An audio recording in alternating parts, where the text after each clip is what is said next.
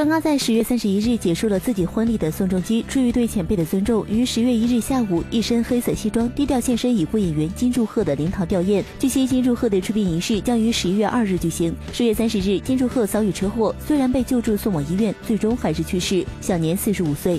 十月三十一日，他所属经纪公司发表声明表示，告别式在十一月二日上午举行，遗体安葬于中街南道瑞山的家庭墓园。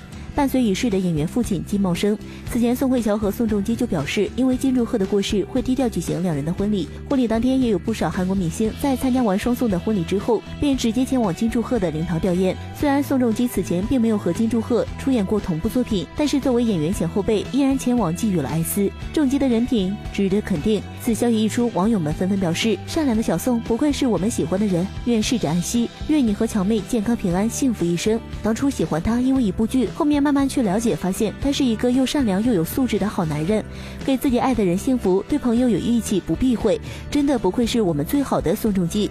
这或许是昨天最大的一个遗憾。逝者已矣，生者如斯。